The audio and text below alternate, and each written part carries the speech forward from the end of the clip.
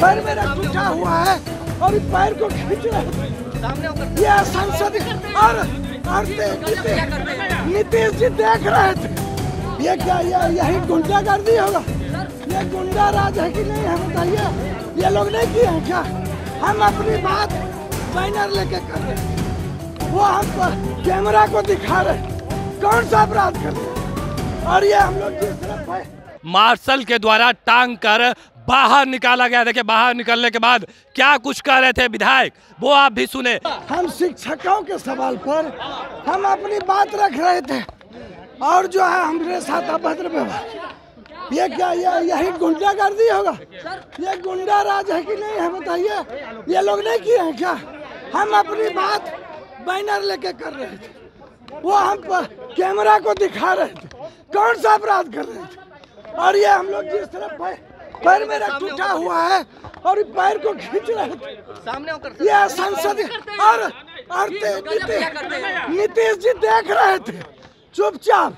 हम भी civil engineer है वो भी इंजीनियर। हम अपनी बात को रख रहे थे टीचरों के सवाल पर।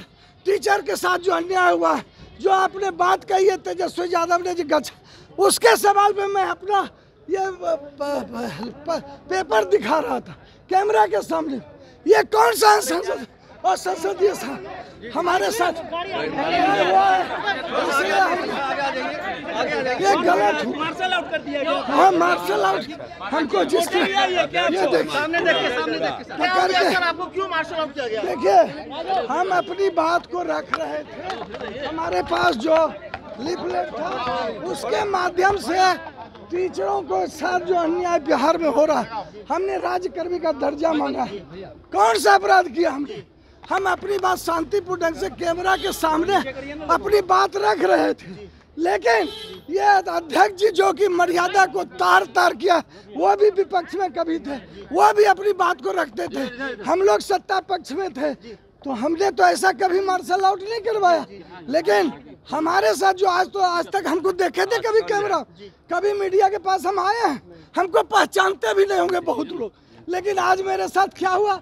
हम अपनी बात को रख रहे थे। हमने जो है जो राज्यकर्मी का दर्जा इन्होंने मांगा उसके समर्थन में। लेकिन आज जिस तरह हमारे साथ व्यवहार किया गया चोट भी लगी है आपको? जो पूरा देखिए ये फाड़ दी क्या मेरा पैर टूटा ये मेरा चप्पल भी लोग फेंक दिया। हाँ? मेरे साथ पैर टूटा हुआ है पैर पे लात रख दिया। क्या आसन कहीं कहीं ना कहीं सत्ता पक्ष दबाव में काम कर रही है सर? अब इससे क्या लगता है आपको? आपको नहीं लगता है? कि ये लोग पक्षपात एजेंट बन के काम कर रहे हैं कि यह विधायकों का साफ़ तौर पे कहना था कि वो जनहित के मुद्दे उठा रहे थे और उसके बाद जो मार्शल के लोग हैं, वो उनको टांग कर बाहर निकाल दिया। तो देखिए, जैसे ही जो विधायक है, उनको बाहर निकाला गया, उसके बाद हमने उनसे डायरेक्ट बातचीत की। क्या कुछ कर रहे थे? वो आपने सुना। बाकी की तमाम खबरों के लिए बने रहे लाइव स्टडीज़ के साथ।